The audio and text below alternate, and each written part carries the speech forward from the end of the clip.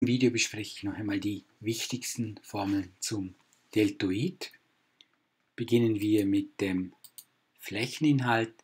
Der Flächeninhalt eines Deltoids wird berechnet mit a ist e mal f geteilt durch 2.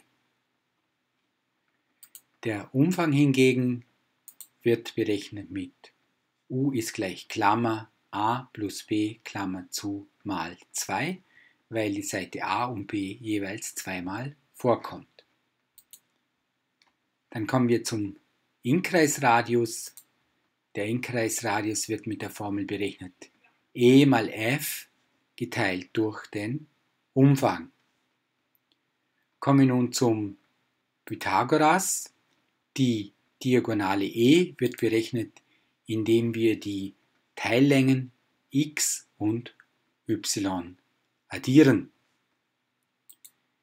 Die Hypotenuse a zum Quadrat wird berechnet, indem wir x zum Quadrat plus f halbe zum Quadrat berechnen. Und die Hypotenuse b zum Quadrat wird berechnet, indem wir y zum Quadrat plus f halbe zum Quadrat rechnen. a und b sind jeweils die Hypotenusen und werden deshalb mit Plus berechnet. Die Katheten x und y brauchen wir für die Berechnung der Diagonale e.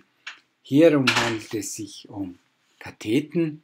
Diese werden berechnet mit minus x ist a minus f halbe zum Quadrat. Das gleiche gilt dann für die Kathete y. Diese wird berechnet mit b minus f halbe zum Quadrat. Was jetzt noch fehlt, ist die Kathete f halb, f halbe selbst. Hier gibt es zwei Möglichkeiten, da wir beim Deltoid zwei Dreiecke zur Verfügung haben. Wir können also f halbe entweder berechnen mit a minus x oder mit b minus y.